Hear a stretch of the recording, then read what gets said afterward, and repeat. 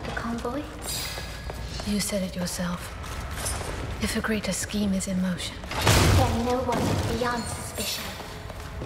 His aura is difficult to read. It's hard to be sure of him. We can only trust ourselves. Let's figure this out.